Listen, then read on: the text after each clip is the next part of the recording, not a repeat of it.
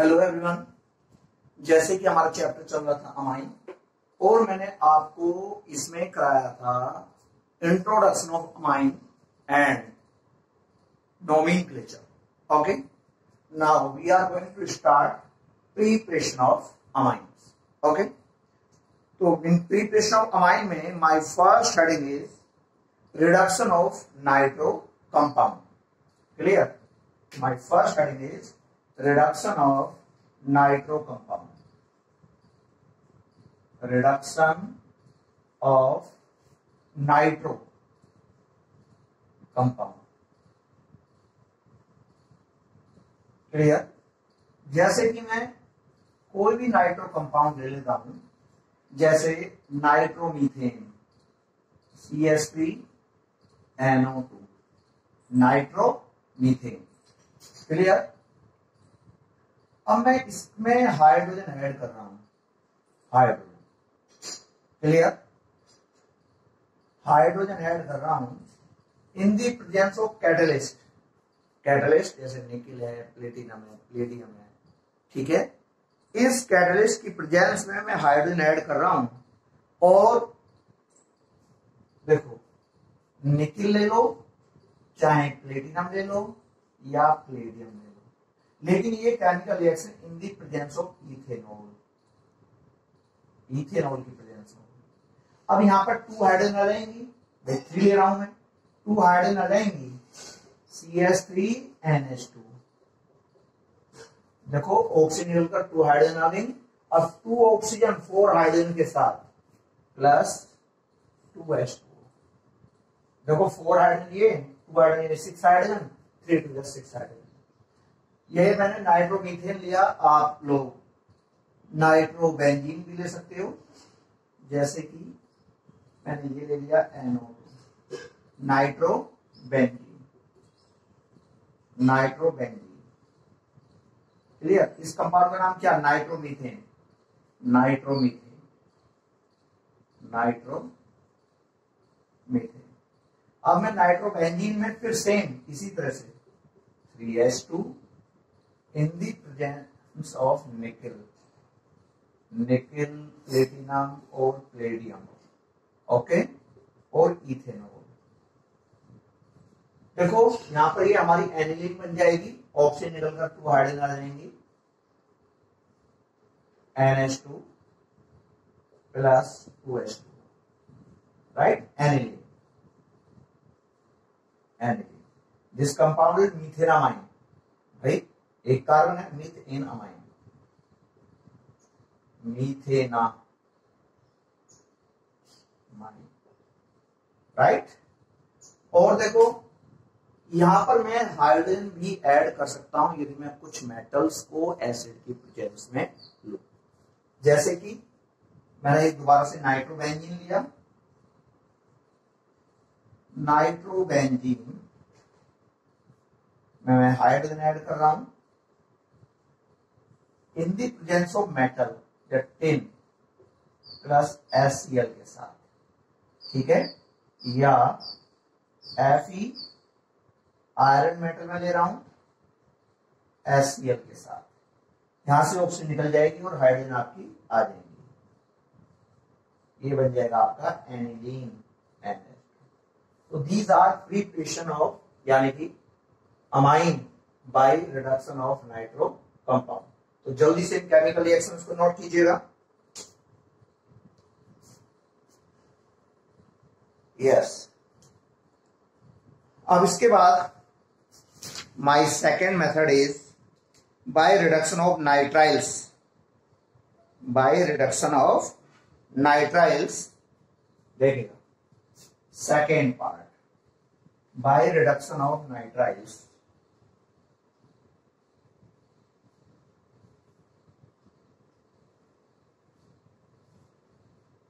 third part by reduction of nitriles sorry second by reduction by reduction of nitriles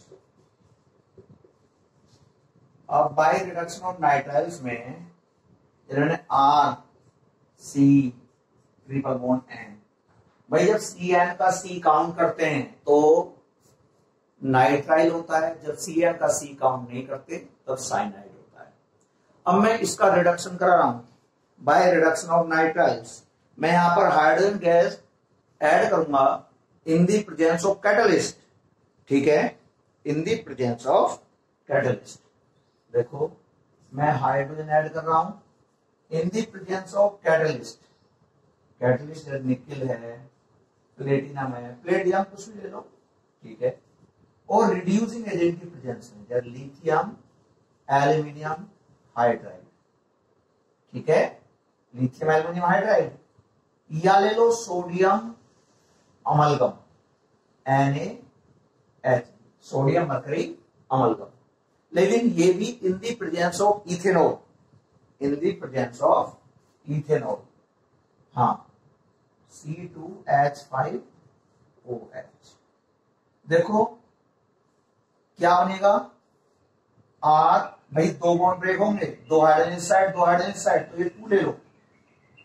R C H two N H two ये बन गई आपकी amine ठीक है? आप यहाँ पर आर की कुछ भी वैल्यू ले सकते हो। तो वो तो जनरल सी बात है। जैसे मैं बात करूँ C H three C triple one N plus two H two same इसी कंडीशन में। ठीक है? निकेल ले लो प्लेटिनम ले लो और प्लेटिनम ले लो, कुछ भी एक कैटलिस्ट ले लो रिड्यूसिंग एजेंट के साथ लिथियम एल्यूमिनियम हाइड्राइड या sodium mercury amalgam clear in the presence of ethanol C2H5OH ठीक है? दो बॉन्ड ब्रेक होंगे तो ये मेरा इथेनामाइन बन जाएगा। CH3 CH2 NH2 राइट तो जल्दी से केमिकल रिएक्शंस को नोट करें। हाँ।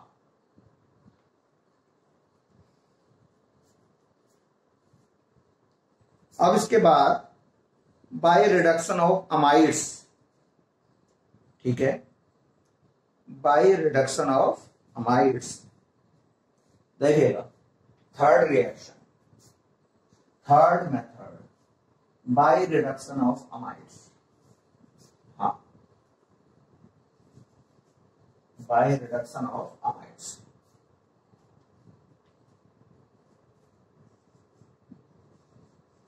by reduction of amides ठीक है? अब अमाइड्स होते क्या है? R C double bond O N H two दो जिनमें C N H two group होता है अमाइड होते हैं। अब मैंने इसमें रिडक्शन ऑफ़ अमाइड में की रिएक्शन मैं reducing agent lithium aluminium hydride लेकिन लिथियम एल्यूमिनियम हाइड्राइड को मैं यूज़ करूँगा in the presence of ether फिर उसके बाद सेकंड मेथड में वोटर सेकंड पार्ट देखो लिथियम एल्यूमिनियम हाइड्राइड लेकिन इसे मैं यूज़ करूँगा इथर के साथ। ठीक है? उसके बाद वोटर एच टू देखो ये। ठीक है? पहले मैंने लिथियम एल्यूमिनियम हाइड्राइड की इस कंपाउंड की रिएक्शन लिथियम एल्यूमिनियम हाइड्राइड के साथ, in the presence of ether कराऊँगा। उसके बाद जो कंपाउंड बनेगा, उसकी रिएक्शन वाटर के साथ। कराने पर मेरा यहाँ पर अमाइन बन जाएगा। और ऑक्सीजन निकल जाएगी। ठीक है? यहाँ से ऑक्सीजन निकल जाएगी, दो हाइड्रोजन आ जाएँगी। C H two bond N H two ठीक है? यहाँ पर आप आर की वैल्यू कुछ भी दे सकते हो। या अगर मैं चलो मिथाइल लेता हूँ आर की value C double bond N H two ठीक है? तो सबसे पहले लिथियम एल्यूमिनियम हाइड्राइड और इसे मैं ईथर की प्रेजेंस में यूज़ करूँगा। उसके बाद वाटर एच टू ऑक्सीजन निकल जाएगी हाइड्रोजन आ जाएगी इथेनामाइन बन जाएगा। C S three C S three C S two N H क्या बना हमारा? इथेनामाइन राइट जल्दी से नोट करें केमिकल रिएक्शंस को। ओके जल्दी से नोट करें। इसके बाद हमारा जो नेक्स्ट मेथड है तो अब इसके बाद मेरा नेक्स्ट मेथड है by ammonolysis of alkyl halide number four ammonolysis of alkyl halide हाँ ammonolysis number four ammonolysis ammonolysis of alkyl halide ठीक है? तो जल्दी से आप लोग हेडिंग डालें। Ammonolysis of alkyl halide clear तो देखो, जैसे मैं यहाँ पर कोई भी एक्चुअली अमोनिया की रिएक्शन एल्काइल हैलाइड के साथ मैं कर रहा हूँ। आर एक्स देखो, ये दोनों इलेक्ट्रॉन चले जाएँगे किस पर? हेलोजन पर। आर पर पॉजिटिव चार्ज जब आर पर पॉजिटिव चार्ज होगा ना तो ये आर इस लॉन पेरो इलेक्ट्रॉन के साथ बॉन्ड बनाएगा। ठीक है? तो कंडीशन क्या हो जाएगी? आर एन एच थ्री और देखो, ये जो दोनों इलेक्ट्रॉन है, ये एन के तो एन पर पॉजिटिव चार्ज लेकिन ये दोनों इलेक्ट्रॉन हेलोजन पर चले जाते हैं हेलोजन पर नेगेटिव चार्ज अब in the presence of three ammonia की में, जो कि ये रिएक्शन रिवर्सिबल है। देखो ये यहाँ से एच एक्स निकल जाएगा। ये हमारी primary amine R N H two यहाँ पर ये बन जाएगी। क्लियर देखो R N H two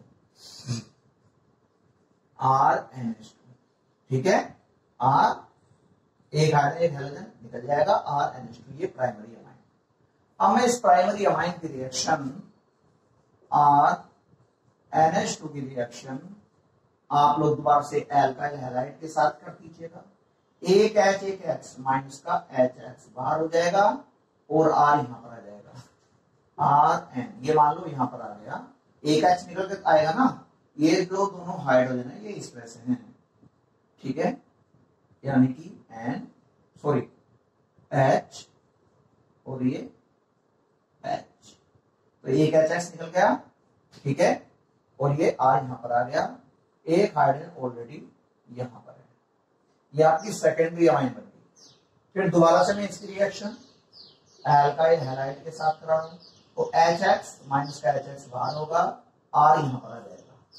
तो एन आर आर आर ठीक है? लेकिन इस पर लॉन्ग पेयर ऑफ़ इलेक्ट्रॉन और है। अब जैसे कि मैं इसकी रिएक्शन ये टर्सी अमाइन है। इसकी रिएक्शन दोबारा से मैं एल्काइल हैलाइड के साथ कर रहा तो ये आर इस एन से आकर बॉन्ड बना लेगा एन पर पॉजिटिव चार्ज चाहो तो चारों एल्काइल ग्रुप को, भाई ये यहाँ पर आ जाएगा। इस तरह लिख दो आर फोर एन ये चारों एल्काइल ग्रुप किसके साथ कनेक्ट है?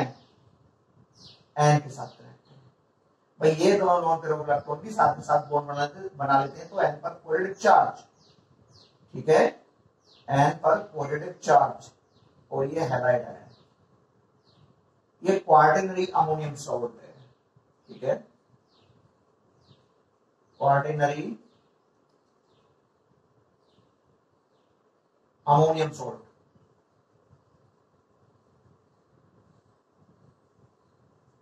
ठीक है? क्वार्टिनरी अमोनियम सॉल्ट तो जल्दी से आप लोग इस केमिकल रिएक्शन को नोट करें। और देखो बेटा, जो ये आर एक्स है reactivity of alkyl halide order of reactivity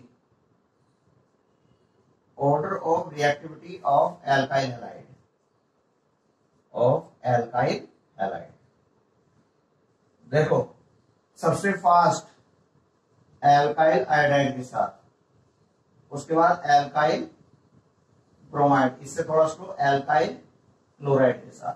भाई एल्काइल आयोडाइड के साथ सबसे फास्ट क्यों रिएक्ट होती है? क्योंकि आयोडीन का साइज़ सबसे बड़ा होता है। क्लोरीन के साथ सबसे स्लो रिएक्ट क्यों होती है? क्योंकि इन तीनों में क्लोरीन का साइज़ सबसे छोटा होता है। जल्दी से नोट करें आप इस रिएक्शन को। जल्दी नोट कीजिएगा।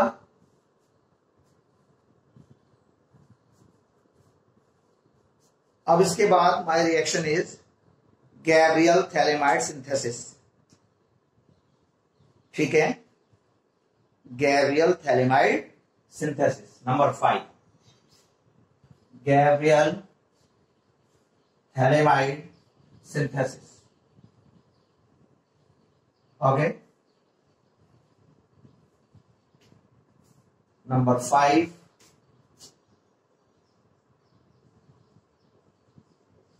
Gabriel phthalimide synthesis ठीक है? गैब्रियल थैलेमाइड सिंथेसिस अब देखना गैब्रियल थैलेमाइड सिंथेसिस में G A B R I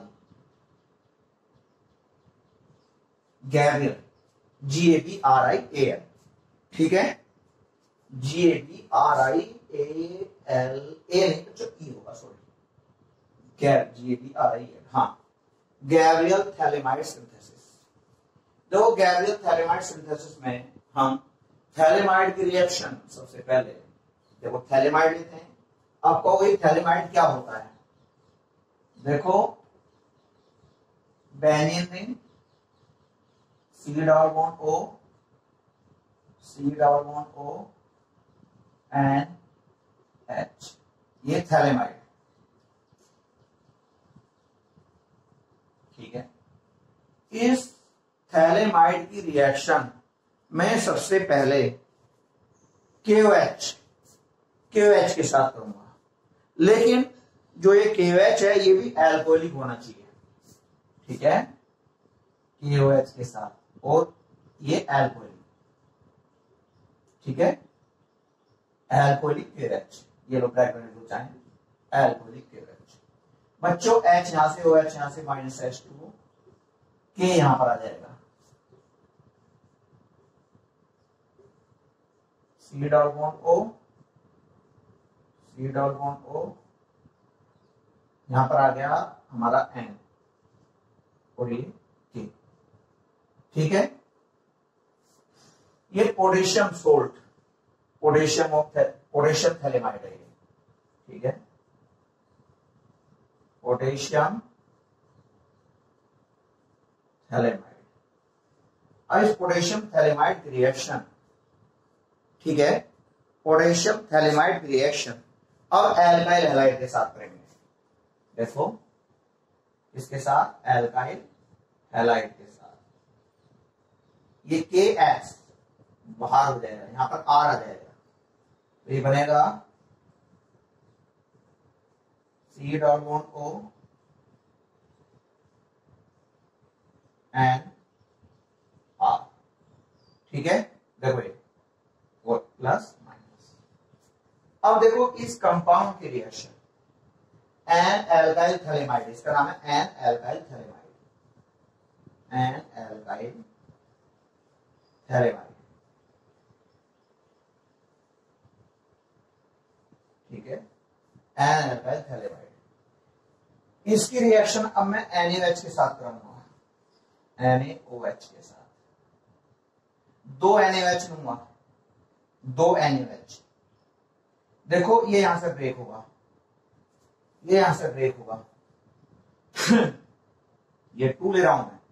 तो ओ एन एक तो आ जाएगा इस कार्बन के साथ और एक आ जाएगा इस वाले कार्बन के साथ। ये दोनों हाइड्रोजन आ जाएँगे इसके साथ। ठीक है? ये लो आप ऐसे समझ सकते हो। ठीक है? R N H two R N H two primary amine और ओ एन ए इस कार्बन एटम के साथ। Plus C double bond O N A C double bond O O N okay तो जल्दी से आप इस केमिकल रिएक्शन को नोट करें और देखना इस मेथड से। पहले आप चलो इसमें एक सेंटेंस लिख लीजिएगा by this method by this method, only primary amine is prepared. Only primary amine is prepared. Not secondary and tertiary. Secondary और टर्स की अमाइन प्रिपेयर नहीं होती है। Only primary amine is prepare note करे जल्दी से केमिकल रिएक्शन को।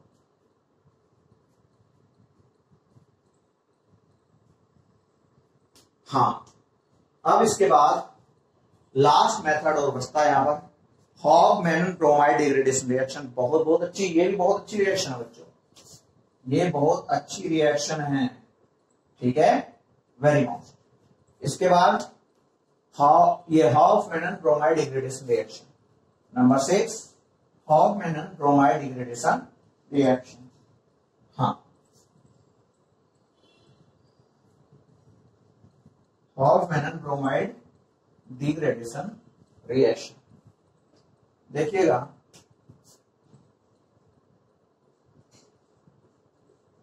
Hofmann bromide Hofmann bromide degradation reaction Hofmann bromide degradation reaction देखना Hofmann bromide degradation reaction में हम लेते हैं अमाइड जैसे आर सी डलगोंडो एन टू इसकी रिएक्शन कराते हैं ब्रोमीन के साथ प्लस एन एच भी साथ में लेते हैं। देखिएगा। तो यहाँ पर होता क्या है? देखो, ये निकल जाता है। आर एन एच टू बचेगा। R N H two plus देखो एन एन या सीओ के साथ N A two CO three N A two CO three अब एन ए बी आर के साथ plus two N A B R देखो बेटा टू एन यहाँ पर यूज़ हो रहे हैं टू एन ए यहाँ पर। तो फोर एन तो यहाँ पर फोर लो। ठीक है? अब देखो फोर हाइड्रोजन भाई फोर हाइड्रोजन फोर ऑक्सीजन से टू ऑक्सीजन आ गई सीओ के साथ जो सीओ थ्री बना। तो टू ऑक्सीजन बची प्लस का two S two plus two S two देखो, ये बन गया मेरा प्राइमरी हमारी। यहाँ पर आप आर की वैल्यू कुछ भी ले सकते हो। चलो मैं ये ले लेता हूँ मिथाइल ग्रुप ले लेता हूँ आर की value methyl okay N H two plus B R two plus four N A O H ठीक है? तो क्या बनेगा? Methylamine C S three N H two plus तो सेम इसी की तरह N A two C O three plus two N A B R plus two H two देखो ये। ओके जल्दी से आप इस रिएक्शन को नोट करें। तो यहाँ पर ये प्रीपरेशन ऑफ़ अमाइन हमारा क्लियर हुआ। ठीक है? अब मैं यहाँ पर कराऊँगा फ़िज़िकल प्रॉपर्टीज़ ऑफ़ अमाइन जल्दी से करें।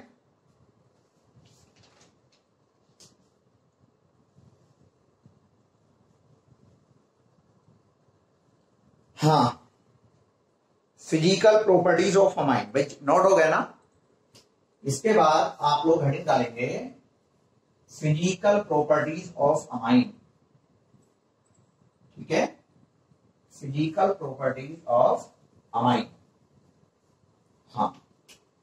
हेडिंग डालिए। फ़िज़िकल प्रॉपर्टीज़ ऑफ़ अमाइन ठीक है? Physical properties of amines number one heading डालेंगे सोलिबिलिटी ओके हेडिंग क्या डालोगे? सोलिबिलिटी तो लिखिएगा lower aliphatic amine lower aliphatic amine जो छोटी अमाइन होती है मीथेरामाइन गीथेरामाइन प्रोपेनामाइन इस तरह से। Lower aliphatic amine can form hydrogen bond with water molecule can form hydrogen bond with water molecules so these are soluble so these are soluble okay so stop लगा लिखेंगे solubility of amine decrease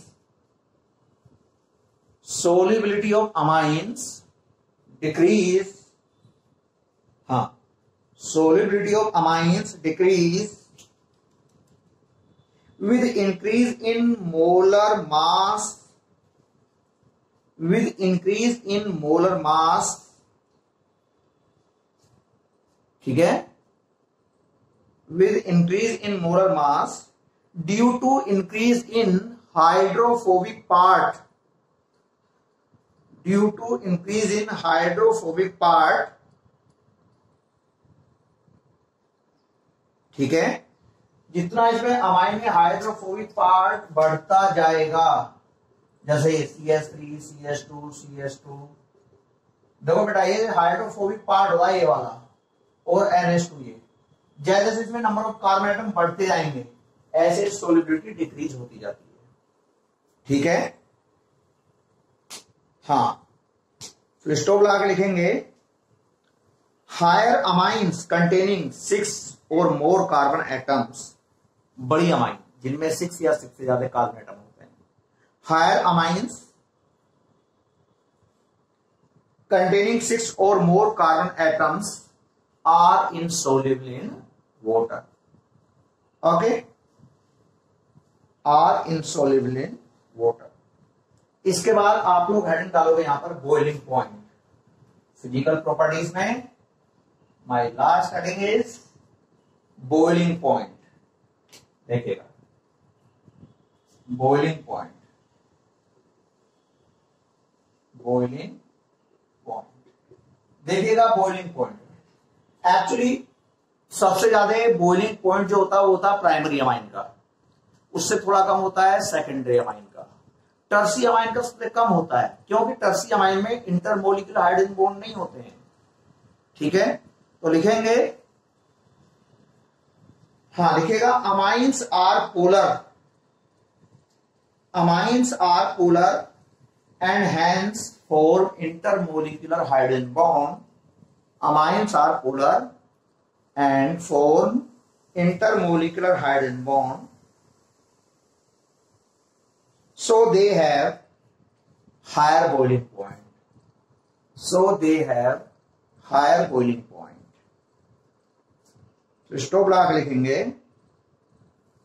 हा।